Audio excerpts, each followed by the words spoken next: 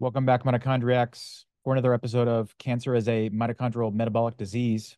You ever wondered if melatonin directly protects mitochondrial crista shape and formation and subsequently super complex formation?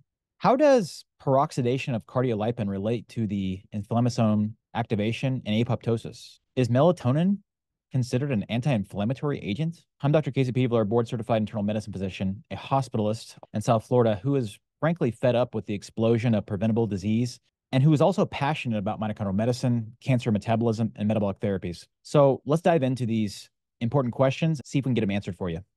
So the first paper that we're going to discuss today relates to melatonin, cardiolipin, reactive oxygen species, mitochondrial dysfunction, and mitochondrial supercomplex formation. So this paper is titled Melatonin inhibits cardiolipin peroxidation in mitochondria and prevents the mitochondrial permeability transition and cytochrome C release. And what it says here is that it is proposed that melatonin inhibits cardiolipin peroxidation in mitochondria, and this effect seems to be responsible for the protection afforded by this agent against the mitochondrial permeability transition pore, induction, and cytochrome C release.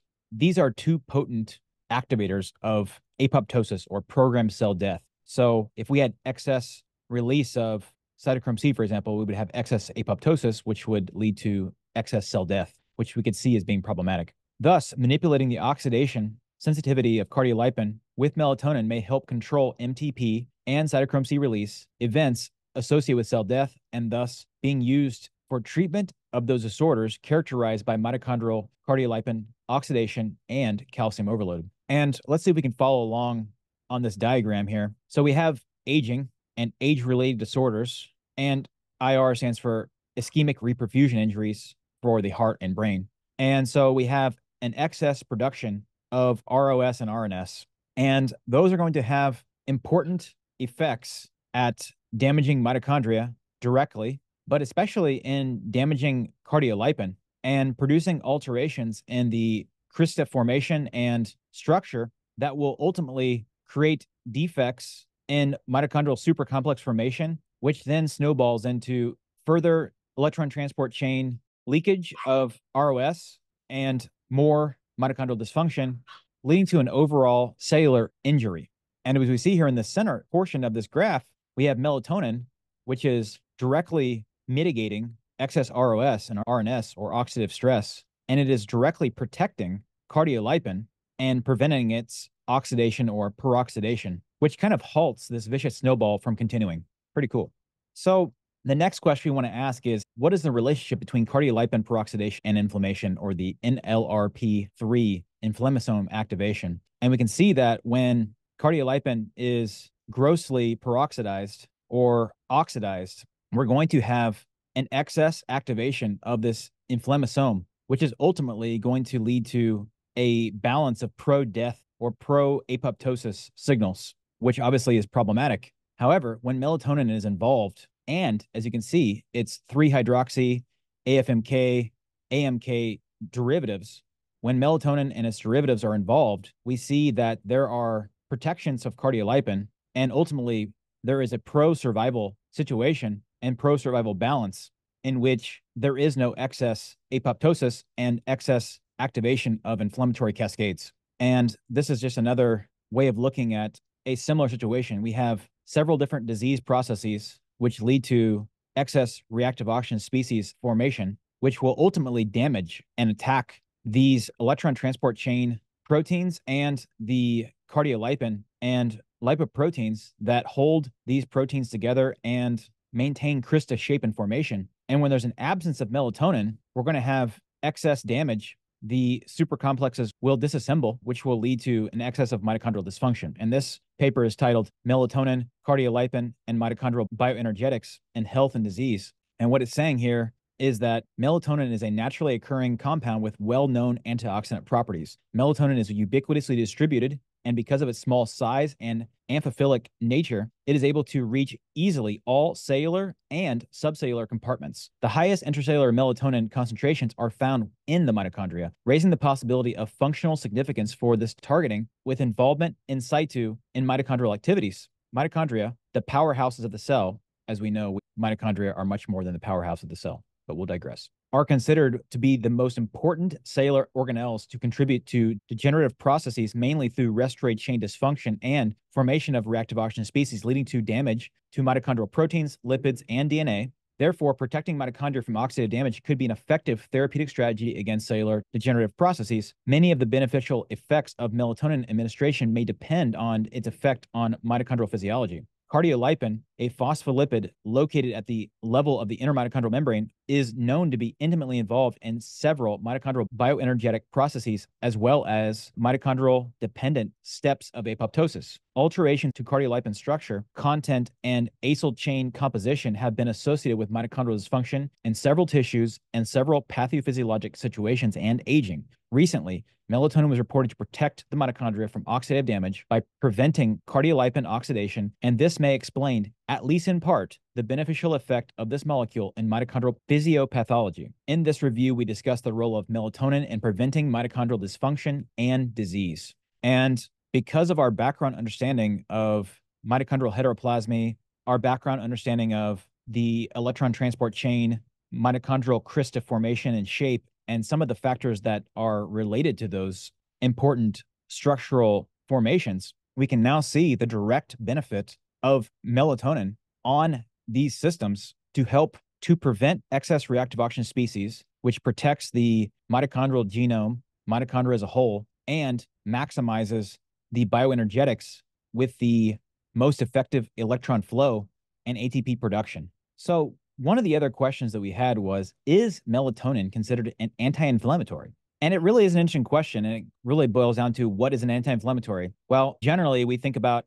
three major things that are blocked when we think about an anti inflammatory. We think about NF kappa B or nuclear factor kappa beta. We think about the cyclooxygenase systems or the COX1 and 2 enzymes. And we think about the LOX enzyme or the lipooxygenase system. And kind of the new kid on the block is this idea of the inflammasome or this NLRP3 system. And as we can see here, melatonin provides a direct blockade to the activation of the inflammasome and direct blockade upon NF kappa B nuclear translocation, which is going to regulate COX enzymes as well as many pro inflammatory cytokines. So I think it's fair to say that melatonin is not only an anti inflammatory, but a potent anti inflammatory at that. And this paper is titled Melatonin as a Master Regulator of Cell Death and Inflammation Molecular Mechanisms and Clinical Implications for Newborn Care. And it says here we summarize molecular pathways in which melatonin is considered a master regulator with attention to cell death and inflammation mechanisms from basic, translational, and clinical points of view in the context of, in this case, in this paper, newborn care.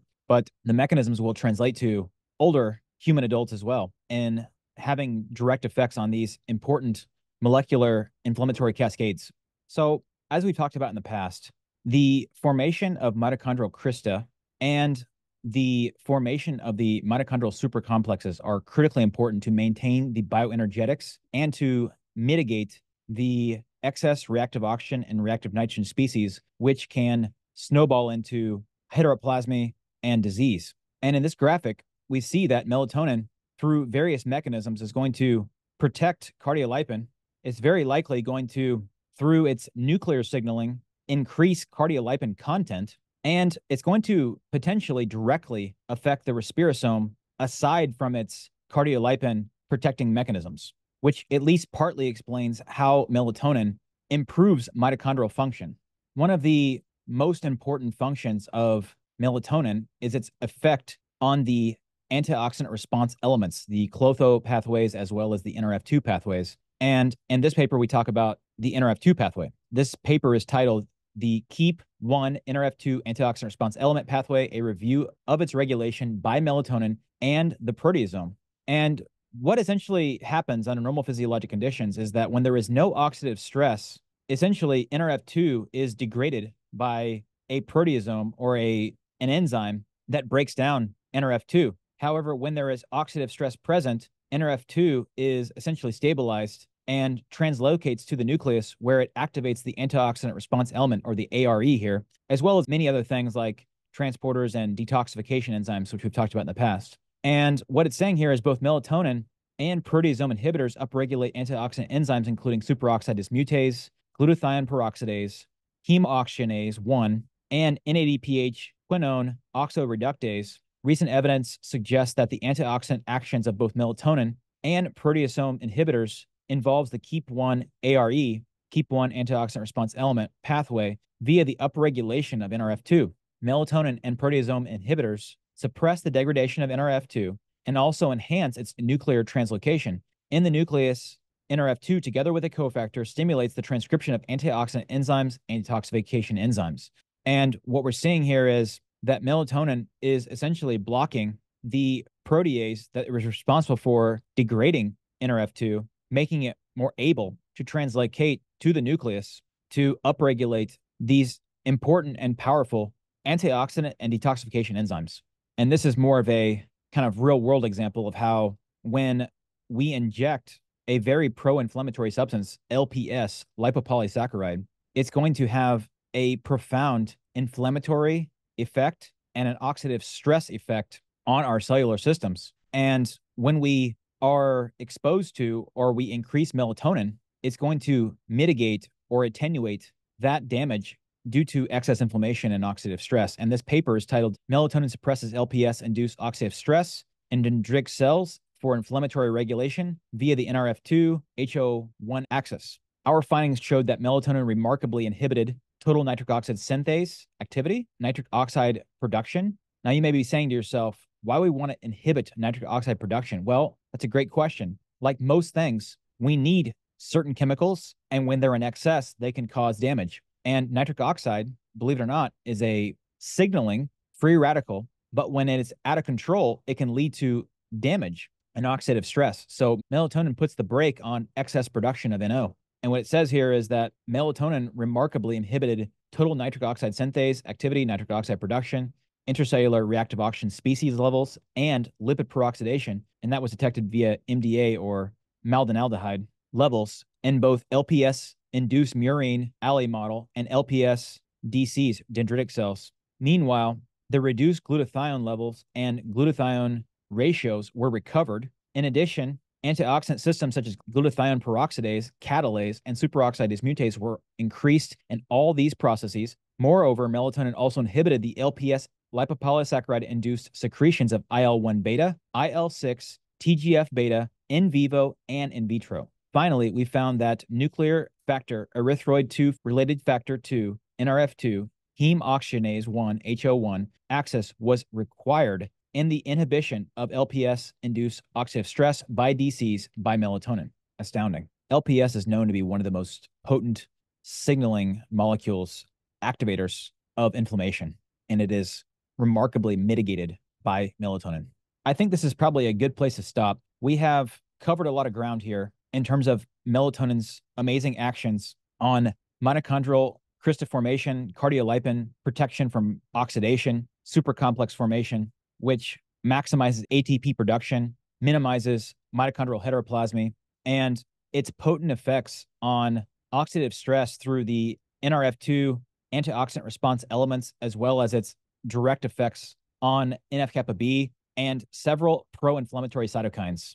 I hope you're starting to see, or hopefully continuing to see, melatonin's amazing benefit and why trying to make the case so strong that melatonin needs to be a critical part of your therapeutic and healing toolbox. The cool thing is, is that your body makes this amazing substance at nearly unlimited quantities when you put yourself into the right circumstances.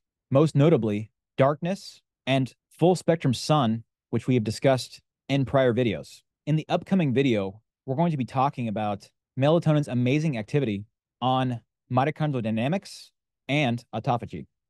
If you like videos like this, please like, share, subscribe, and until next time.